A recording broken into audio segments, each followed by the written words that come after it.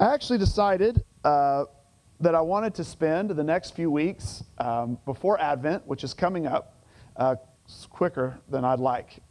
It's coming quick. And Christmas and, and Christmas Eve service planning, which I've done none of. I've actually not started that at all, and I need to get on it.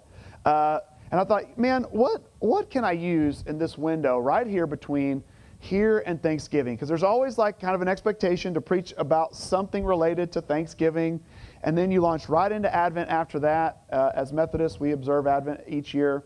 Uh, and that's a very uh, good time for a preacher because it's like already set in stone what you're going to talk about. Like you, you don't have to worry about it. It's like these are the themes. This is what we're talking about. This is what time of year it is.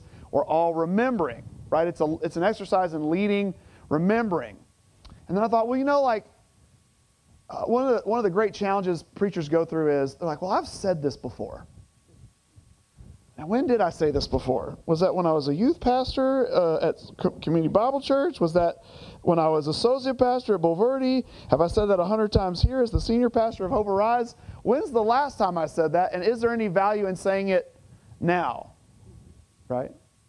One of the things we say a lot here is we talk about what we call the five pillars. We talk about them every week in our, our time of offering. They're prayer, presence, gift, service, and witness. In the plan, we talked about how that involves you and how it locates you and, and where uh, and how God relates to you and how that's the plan. But there's a what. That's the why. The why is what we spent the last several weeks talking about. Now, what we really ought to talk about is the what, and it's things we've talked about before. And so it might feel a little bit redundant. It might feel a little bit remedial, but I was actually talking about this with Julie this morning, and she said she took her car in because it's been giving her trouble. And she took it in, and they couldn't figure it out, and they couldn't figure it out, and it turns out that all that needed to happen was the tech sat down and said, Can I sit in the driver's seat for a second? Think about that statement. Can I sit in the driver's seat for a second? Yes, of course. Now, all you got to do is push this button this way. And she said, basically, he was just telling me how to drive again because I had basically forgotten. And it dawned on me that we are this way, that Christian disciplines are important. Listen, one of the most beautiful things I see in my entire career is when someone has come to the end of their life and their, and their mind is failing them. And they cannot remember who you are or where they are, but especially my Catholic friends I can walk into that room and just begin a Lord's Prayer or just begin a rosary, and they immediately jump in and they can finish it verbatim. And they have no idea who I am. But it's so etched in their mind because they had such a fantastic discipline in their lifetime of saying those prayers, of doing that spiritual discipline, that it is just etched in there beyond Alzheimer's reach, which is fascinating if you think about it. Unexplained medically, still, by the way. I've seen musicians have the same ability. They've played a guitar so long, the discipline of playing it, or a piano so long, that they don't even know if that's their guitar, but if you just put it in their hands, they can start to remember chords and songs. Pianists, the same way. You can sit them down at a piano and they don't even know where they are and they can begin to play because it's just etched in them. And the spiritual disciplines are this way. We're meant to do them so much that they're etched in us. But sometimes when you do that, you forget why you're doing it. Well, I say the Lord's Prayer. Well, yes, I, know, but what does it even mean? Well, I don't know. But I could walk into almost any locker room in the state of Texas right now and start a Lord's Prayer, and I bet the team could pretty much follow along. Right? It's just something we know. It's, it's a part of our culture. It's, it's a part of, uh, we say it every week here. Our Catholic brothers and sisters have a practice of saying it like it's, it's a known prayer. We know the words, but do we know the meaning? So, for the next several weeks, we're going to talk through our pillars. And our first pillar is obviously the pillar of prayer. Now, as we were going through some of this work, um, and I'm preparing to lead the Hope 101 class. One of the things we discussed was one of the things that people need is just a basic tool. We need a basic tool. Someone during the plan series said, Okay, you're going to tell us that the plan starts with me, but are you going to tell me what to do? I had two responses. I had the one I said out loud and the one I thought. The one I said out loud was, Of course, I'll, I'll give you some pointers on what to do. The one I thought was like, Aren't you a grown adult who's been a Christian a while? If I'm honest. Why do you need me to tell you what to do? There's precedent for this. There's a character in the scriptures who's uh, in the fiery pit and he's begging for a drink. And an angel says, No, I cannot do that. And he said, Well, will you at least go and tell my brothers about this place so they will not come here? And the angel's response is simply, They have the prophets, they have the books of the law, they have the Bible. That's all they need to avoid this place. There's some truth in that, right? But sometimes we just need to be reminded together. And isn't the scriptures, don't we call it the living word? Don't we affirm that the Bible can speak to us today? I could read the same passage of the same scripture you've heard a thousand times. And do we not believe that today in this place, the Holy Spirit can make it speak to your current situation, your current place in life? And the thing it meant to you last time is not the thing it means to you this time. So I'm going to read for you a very common passage of Scripture that we just recited, but it's biblical. And then I'm going to give you the tool by which you can understand what this prayer actually means as you consider the discipline of prayer in your own life. Now, the disciples are this, this way. They're walking with Jesus, they are learning from Jesus, and they want to know what in the world are we supposed to do? Now, here's what you got to know what is Jesus doing every day? Leading by example. The Bible tells us over and over again Jesus gets up early in the morning and goes away to pray. And the disciples say, So, what are we supposed to do? What do they mean, church? This is not hard to know. What do they mean? Do we have to? Nobody ever raised teenagers? Right? I get up on a Saturday and I tell my boys this every week. I need you to do the regular Saturday morning cleaning routine, which means they got to clean the, their bathroom, the toilet, the tub, put away their clothes, make their bed, vacuum the upstairs. It's been the same now for however many years, and I say it the same way every week after I've made breakfast, maybe, maybe. I mean, maybe they got breakfast. I'm not, I'm not that consistent, but sometimes they get breakfast, right? Sometimes, and we say, go ahead and make, do this, this routine. And almost every week. Some weeks, every once in a while, we get a, yes, sir, that will be lovely. We'll do exactly as you have asked. It, ha- it does happen. I got to give them credit, like maybe 10% of the time. But most of the time, it's like a, can I do it after I play some video games? I was going to go fishing with my friends. Can I do it after that? Uh, do I have to? But I, I just put clothes away the other day. There's not that many clothes all spread all over the floor of my room. Right? Do I have to vacuum? We just did that. It was only like six days ago we did that. It's not that bad. This is, this is the nature of the question. It comes here in Matthew chapter 6. Jesus is teaching and preaching, and they're basically like, hey, so how, what are we supposed to do when it comes to prayer?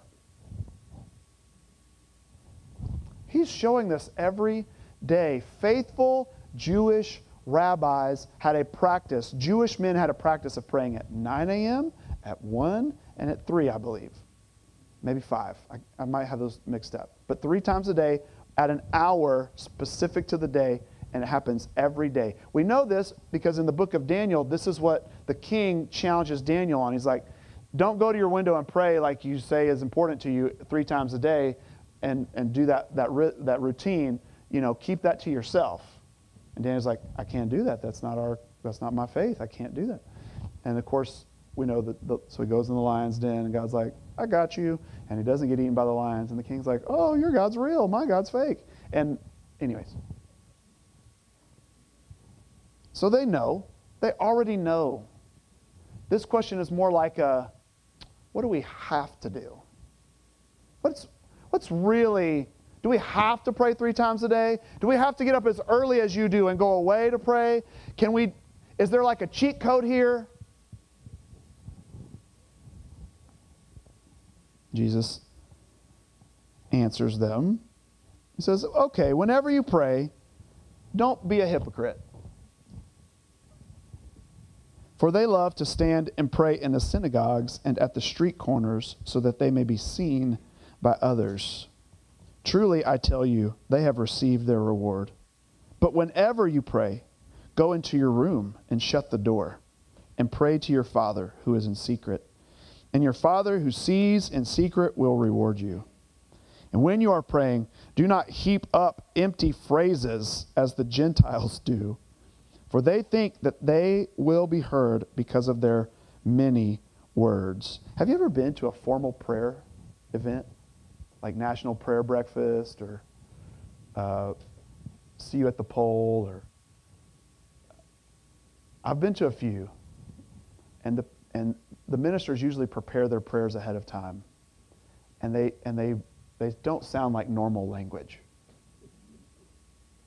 Oh, most holy and infinite God, who has no gender, we all beseech you on behalf of everyone who could possibly believe in you that we would all be highly exalted and glorified because you are the giver of all blood. And you're like, oh my God, just say what you mean.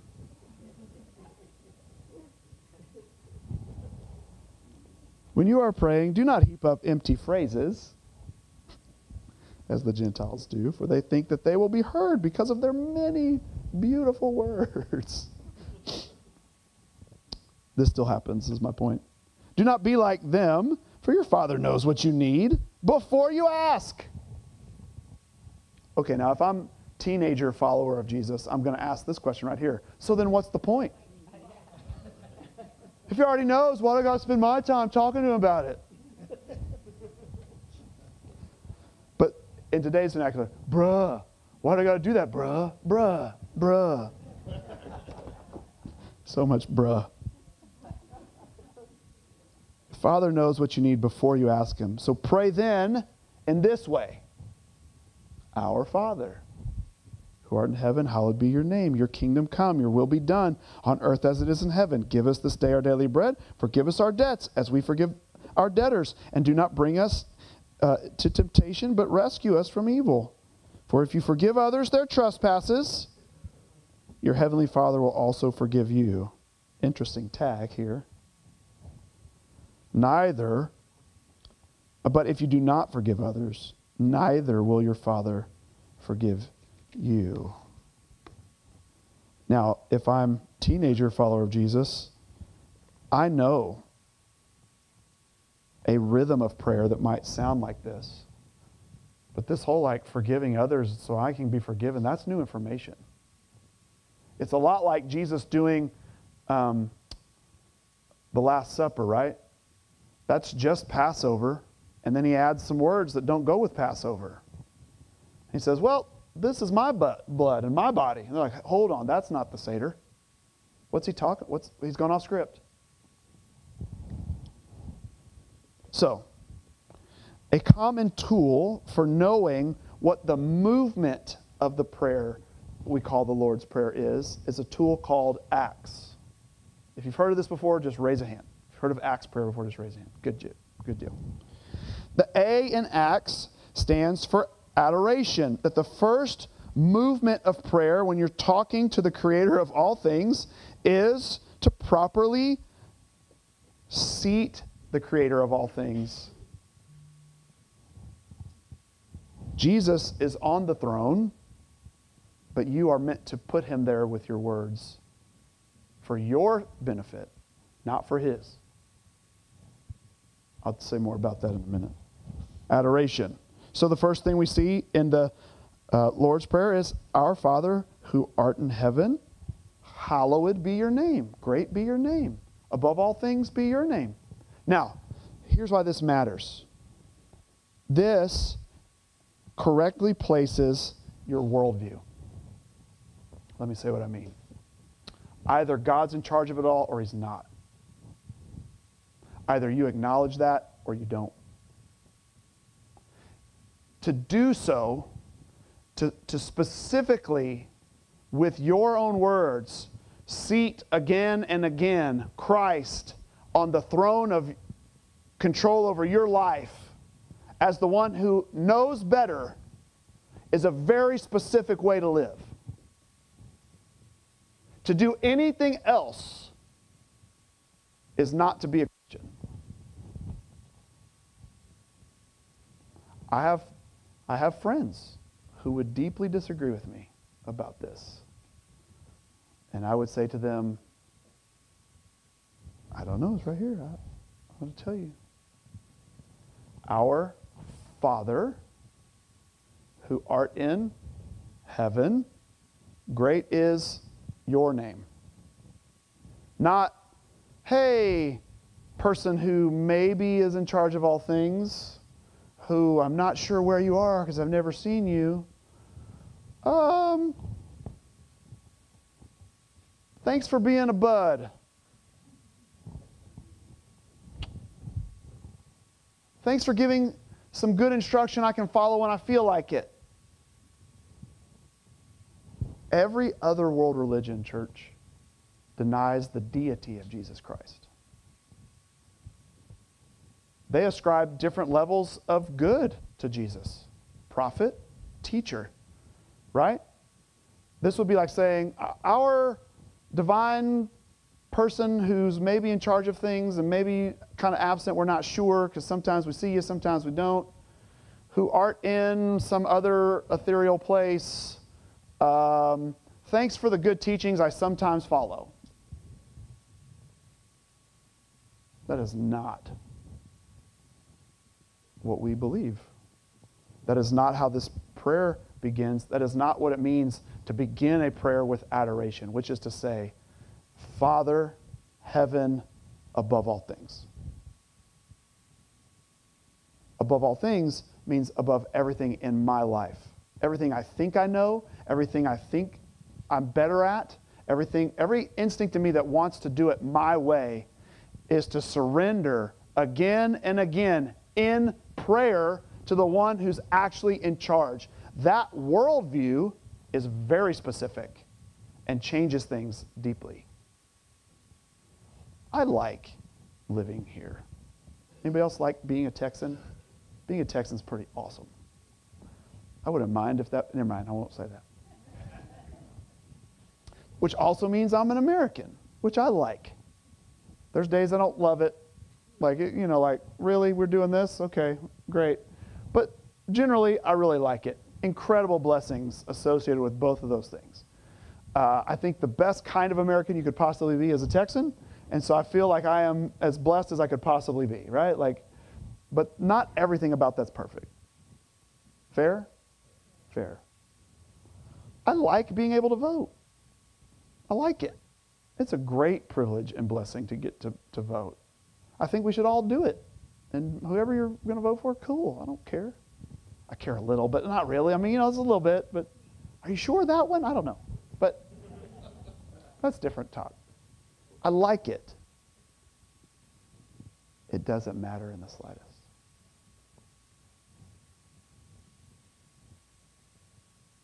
God would be God if I lived in communist China and had to worship him at the fear of my own life.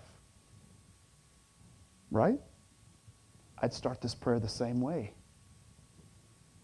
I'm not in control of what I think I'm in control of. I think I get to vote and it makes a difference somehow. I, I don't know if it actually does, and I don't care because the one who's in control is knows better. And when I look out and I see, gosh, this is going terribly. I, didn't, I wouldn't have chosen this at all. I didn't pick that, and I'm going to work hard. I, you know what? I'm going to join a group, and I'm going to do some grassroots stuff, and I'm going to I'm going to walk house to house, and I'm going to make a difference about that.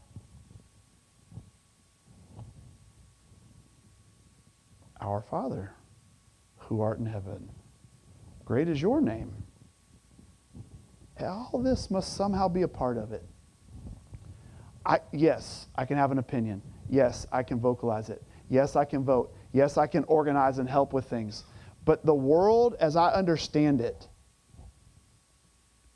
is far more under God's control than my understanding of it. Is that, let me say that again.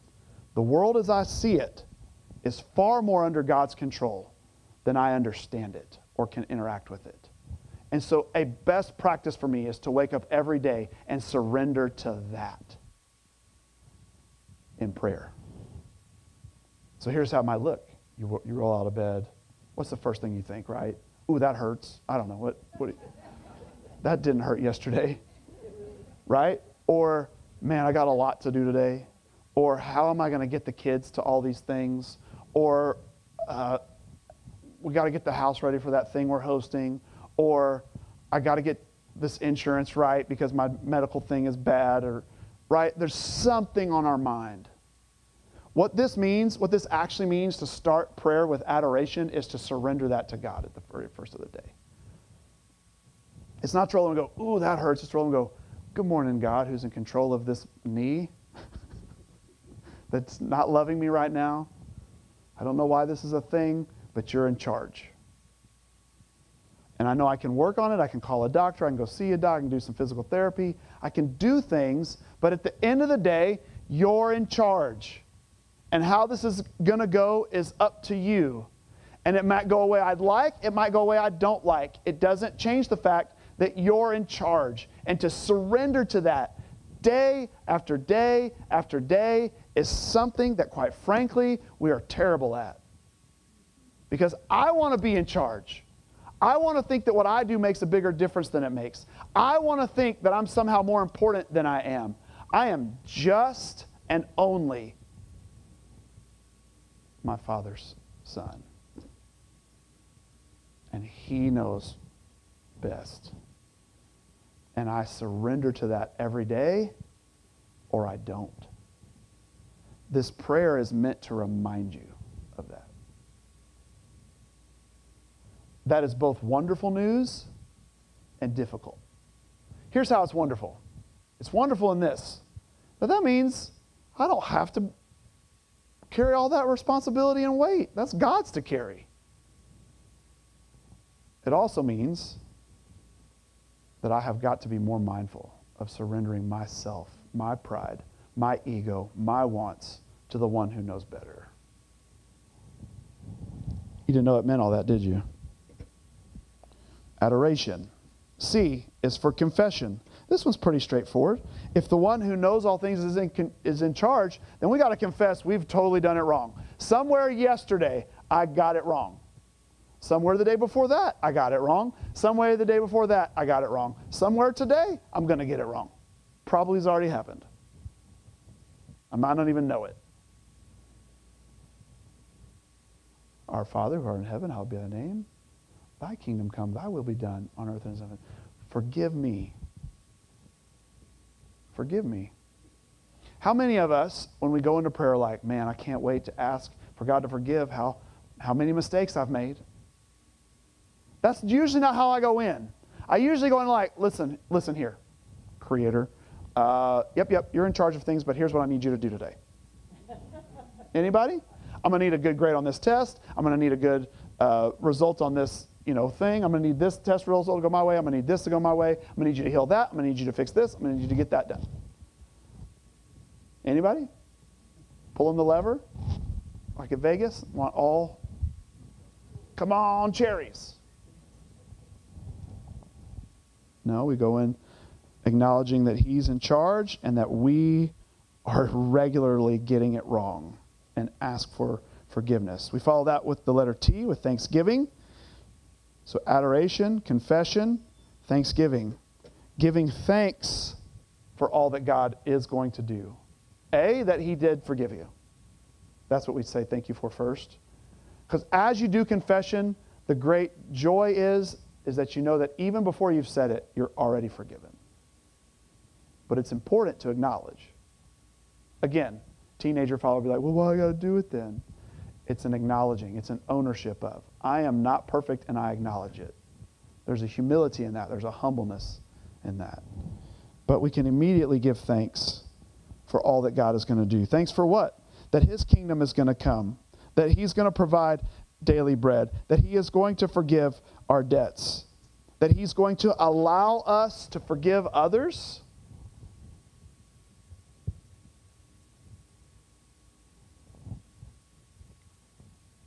Oh, I'm sure y'all know this about me. Things you probably don't tell me you see in my personality, but you see. I'm quite proud. Ah. Couldn't keep it in, could you, Dave? I have a real hard time forgiving. I have a real hard time. Uh, I guess I lean towards justice, which would mean like, well, that's I'm owed. I was wrong, I'm owed. That's just. To which God says, Cool. Let's go ahead and let you pay up for all your debts. No, no, no. Hold on now.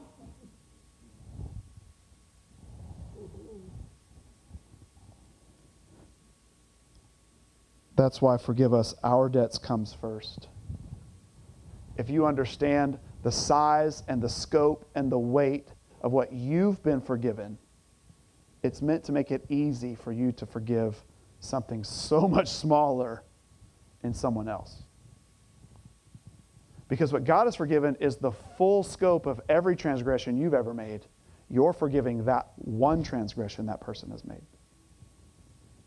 The Bible's pretty clear on this. Jesus tells a parable about it to drive this point home, in which a leader, uh, a person in charge, is owed money. The person who owes comes before him, and the leader says, I'll forgive you your debts. No problem. The person who's forgiven a debt that's large, let's say $100,000, goes outside to someone who owes him like 10 bucks and says, If you don't give me my 10 bucks, I'm going to do what the law requires and have you killed. And the guy says, I can't pay. Well, the leader who forgave $100,000 finds out that the guy he forgave went out and demanded the $10, calls him in and says, Guess what? Now you owe me because you missed the point. We're thankful that we have been forgiven, and we are thankful that we get to forgive, that we're given the great blessing and opportunity to forgive others. And I struggle with that one. Well, Jesus, you need to deal with them. I mean, I won't, I won't, I won't hold it against them, but I'm going to need you to smite them, okay? So I'm clean. I forgave them. I did. But I need you to go ahead and do your thing. And no.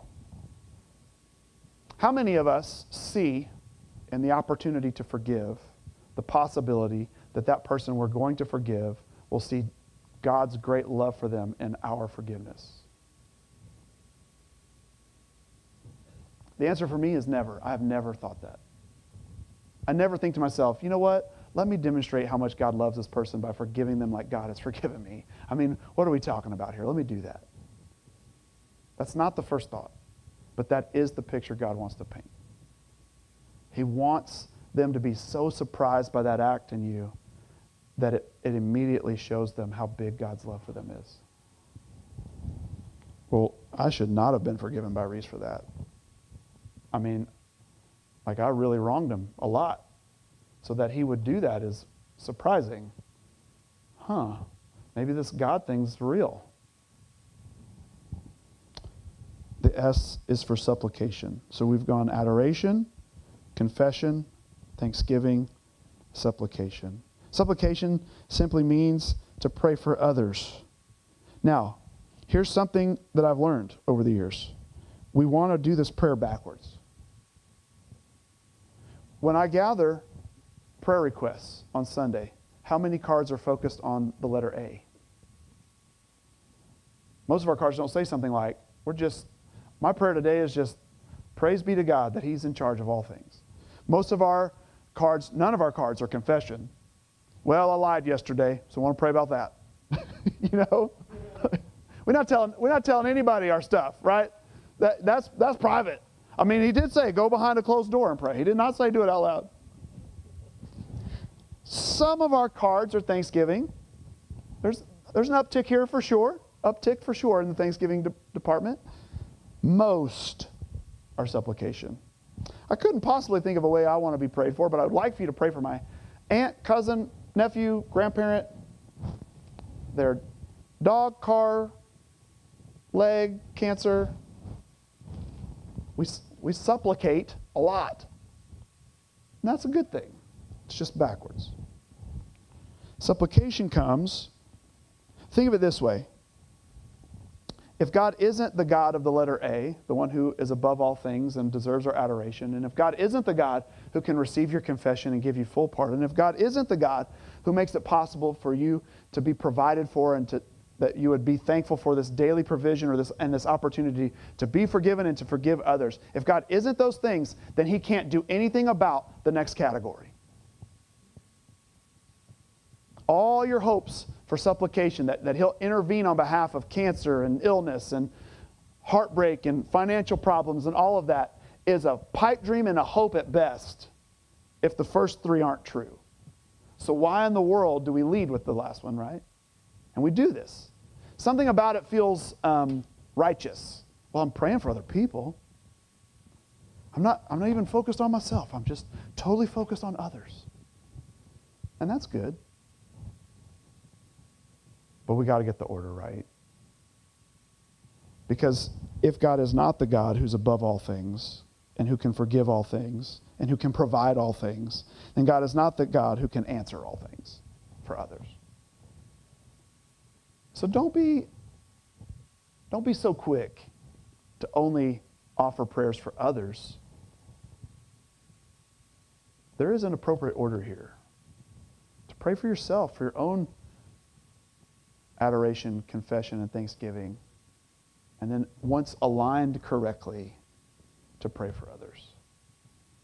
Because if you believe that God can truly intervene, then He is the God worth adoring.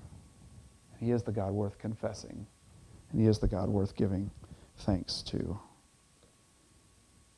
There's an interesting tag to the Lord's Prayer and to this text.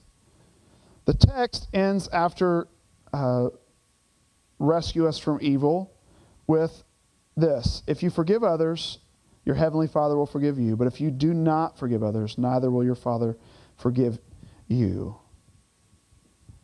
So prayer is about forgiveness somehow. How should we pray? Like this so that it can unlock forgiveness in you. I don't totally understand that, frankly. But it's the truth of the text.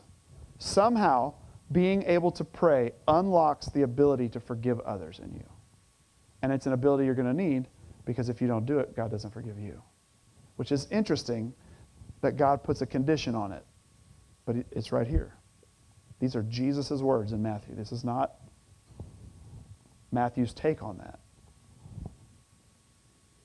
We end the Lord's Prayer this way, right? Instead of saying, so that we might resist temptation and help us to pray this prayer so we can forgive others so you'll forgive us. That's not how we end that prayer. We end it with this tag For thine is the kingdom and the power and the glory forever. Amen. Right? Okay, the reason for that is it was added on early in the first century by the first century church, and we've just kept up the practice. That's the, that's the church history answer. There's nothing special. It's from Second Chronicles. It's biblical. It's straight out of the Bible. And it's good. But maybe, and this is pure speculation on my part, the reason it's there is so that we'll remember the first part. For thine is the kingdom and the power and the glory forever. Amen. And if that's true, is there anything in that God that can't help us forgive others so that we might also be forgiven. If you end your prayer with a reminder that God has all the power you could possibly need to do the thing you think you cannot do. Because I bet in this prayer, the thing we think we cannot do, if I told you you had to leave here today and do it, is you have to leave this room and you have to go forgive everyone you've never forgiven, or God won't forgive you. I think you would be pretty disappointed and dismayed. Well, I don't know if I can do that. I got some things I'm still working on. I mean, like 90% I'm cool with, but there's that one person who, I mean, that was a big offense. You can, I don't even talk about that with my counselor, pastor. Like, I, we can't deal with that one. It's, the, it's a third rail, can't touch it. Well, if thine is the kingdom and all the power and all the glory forever, yes, you can. Because that God lives in you. That God wants to give you that power to forgive. He wants to unlock that in you. Because it's the best picture of who God is to that person who needs that forgiveness from you. Yeah, it's hard to think about that. It's even more awkward to think about, well, we haven't talked in 20 years. They don't know I haven't forgiven them for that. How in the world am I going to do that? I don't know. But thine is the kingdom and the power and the glory forever. He'll help you make a way. Amen? Amen. This is the nature of what prayer is meant to do. It's meant to orient you daily. It basically does this You're God, I'm not. Let's do this thing. Let's pray. Holy God, thank you that you're God and we're not. That's not a job I think I could do. I know I try to take over sometimes and do it anyway. But remind me that even in this prayer, that I can be reminded daily that it is not mine to do, but it is yours. That my life is not mine, but it is yours. That my purpose is not mine, it's yours. My provision is not mine, it's yours. My forgiveness is not mine, it's yours. So, God, have your way in my life and give me good reminders to pray in this pattern of adoration, confession, thanksgiving, and supplication daily so that it just correctly places me each day by discipline.